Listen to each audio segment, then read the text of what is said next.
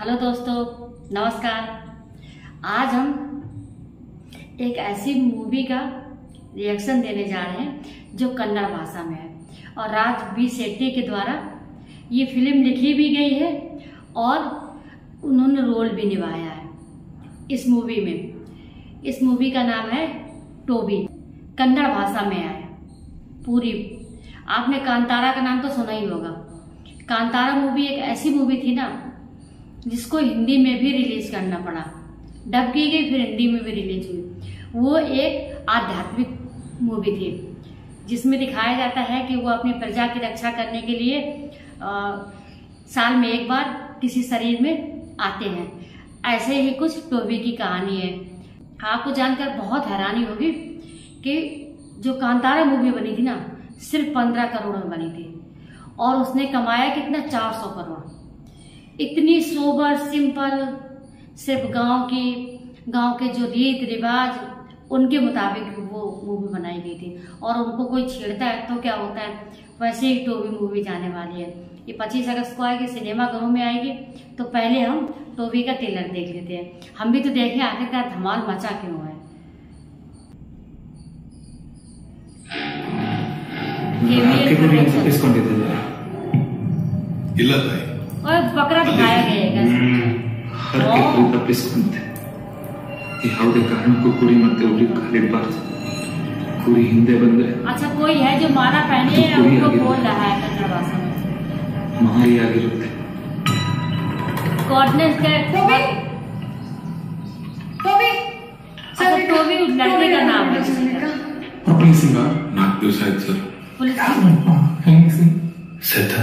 Father के पास आ गए father के पास।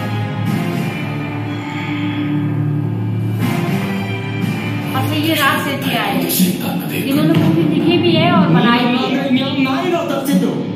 कुछ कह रहे है।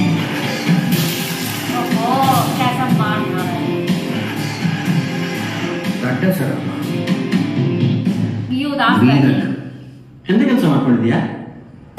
नेता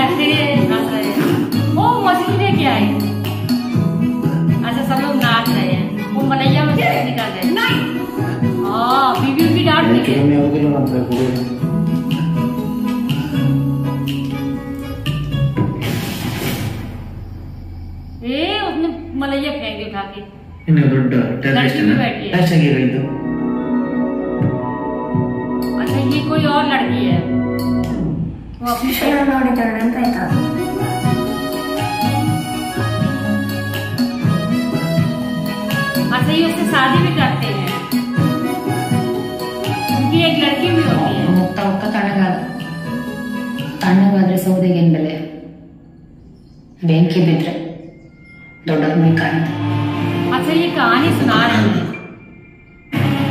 वो सुन रहे थे वो किसी बोरा में लाश भर के ले जा रहे हैं उनको पकड़ के ले रहे हैं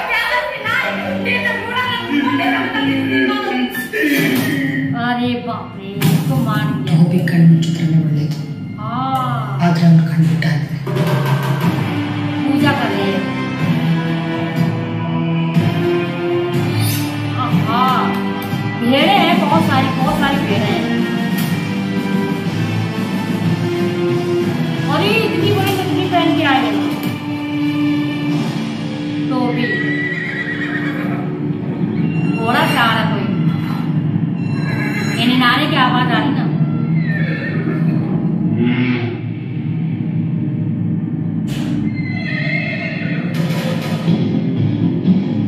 पच्चीस अगस्त को आ रही है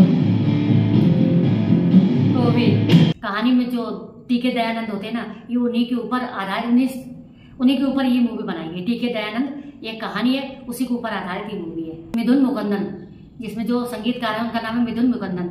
इसमें कलाकार है, वो राजवी सेठी है, वो तो आपको पता ही है। संयुक्ता हांडर है, चैत्र आचार है, और गोपाल कृष्ण पांडे है।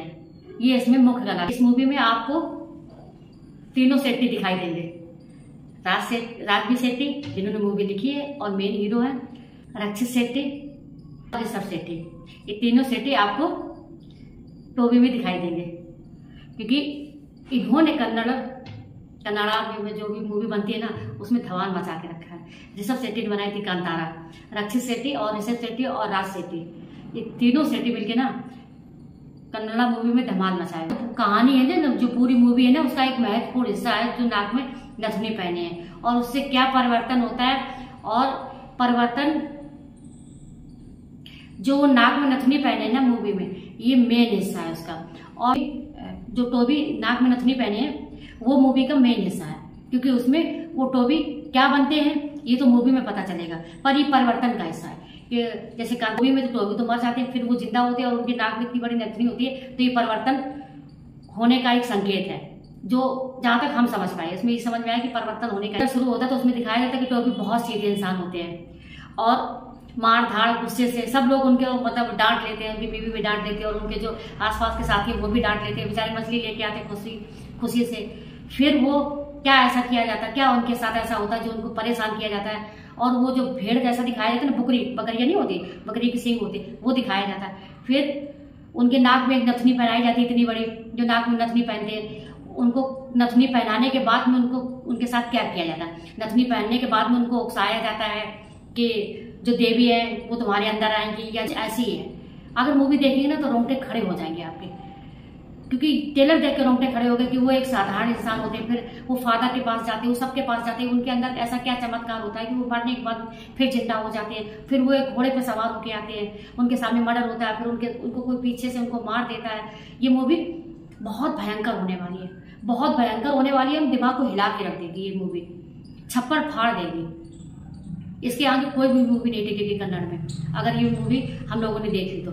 और जिस पच्चीस अगस्त को आएगी तो आप देखने के लिए तैयार रहिए।